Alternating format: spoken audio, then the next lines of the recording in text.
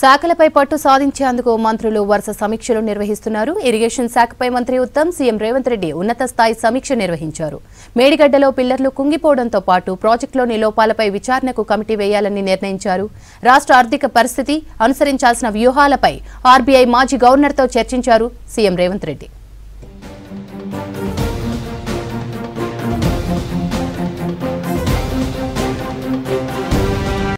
Medigadda project కుంగిపోవడంపై పూర్తి వివరాలు అందించాలని నీటిపారుదల శాఖ అధికారులను ఆదేశించారు సీఎం.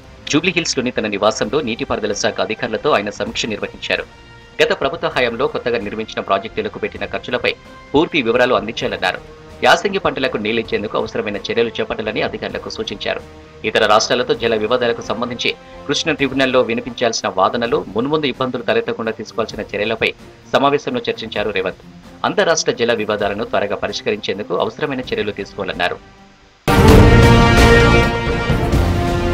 సీఎం రేవంత్ రెడ్డితో జూబ్లీహిల్స్లోని ఆయన నివాసంలో భేటీ అయ్యారు ఆర్బీఐ మాజీ గవర్నర్ రఘురాం రాజన్.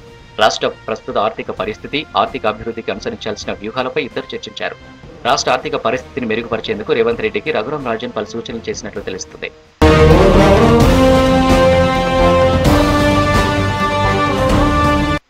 ఇరిగేషన్ శాఖపై మంత్రి ఉత్తమ్ కుమార్ రెడ్డి సమీక్ష నిర్వహించారు. మేడిగడ్డ పిల్లలు కుంగిన అంశాలపై చర్చించారు. మేడిగడ్డతో పాటు ప్రాజెక్టులోని లోపాలపై సమగ్ర విచారణకు కమిటీ వేయాలని నిర్ణయించారు. బ్యారేజీ పునరుద్ధరణ పనులకు ఎల్ఎన్టీ ముందుకు రాకుంటే లీగల్ ఫైట్కు రెడీగా ఉండాలన్నారు ఉత్తమ్.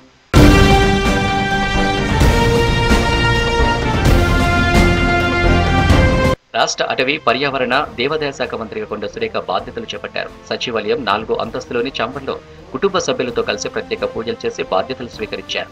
వన్యప్రాణుల దాడిలో చనిపోయిన వారి కుటుంబాలకు ఇచ్చే ఎక్స్గ్రేషియా బెప్పుపై మంత్రి కొండ సురేఖ తొలి సంతకం చేశారు. ఐదు లక్షలుగా ఉన్న పరిహారం పది లక్షలకు ప్రభుత్వం పెంచింది. వివిధ కార్యక్రమాలు ఉత్సవాలకు ఏనుగులను ఇతర రాష్ట్రాల నుంచి తెచ్చుకునేందుకు వీలుగా అనుమతినిస్తూ మరో ఫైల్పై మంత్రి సంతకం చేశారు. అటవీ దేవాదాయ శాఖలో కొత్త నియామకాలకు ఉన్న అవకాశాలపై అధికారులను అడిగి తెలుసుకున్నారు మంత్రి కొండా సురేఖ.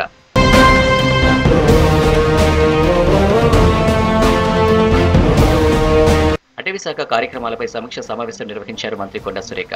అటవీ శాఖ ఆధ్వర్యంలో చేపట్టిన పథకాలు పనులపై అటవీ సంరక్షణ అధికారి డోబ్రియల్ పవర్ పాయింట్ ప్రెజెంటేషన్తో వివరించారు.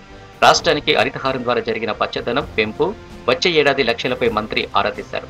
కంపా నిధుల సాధన ఈ పథకం ద్వారా చేపట్టిన పనులను అడిగి తెలుసుకున్నారు. పర్యావరణ పరిరక్షణ పచ్చదనం పెంపుపై సమన్వయంతో పనిచేయాలన్నారు మంత్రి.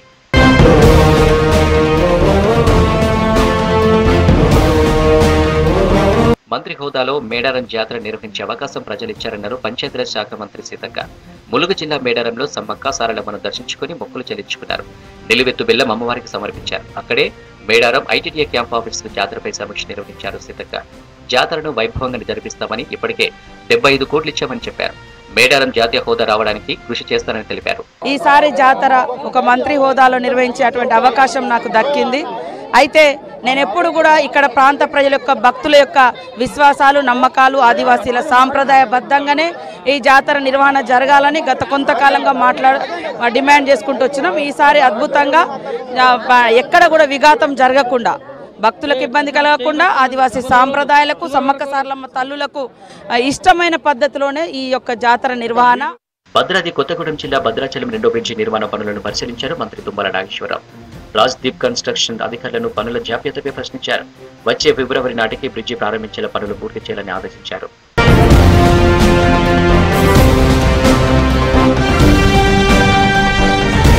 కాళేశ్వరం ప్రాజెక్టు నిర్మాణంలో జరిగిన అక్రమాలపై విచారణ చేపడతామన్నారు మంత్రి శ్రీధర్ బాబు. మేడిగడ్డ అన్నారం లోపాలపై దర్యాప్తు చేస్తామని సీఎం రేవంత్ రెడ్డి అసెంబ్లీలో చెప్పారని గుర్తు చేశారు. ప్రజల ఆకాంక్షలను అమలు చేయడంలో బీఆర్ఎస్ విఫలమైందన్నారు.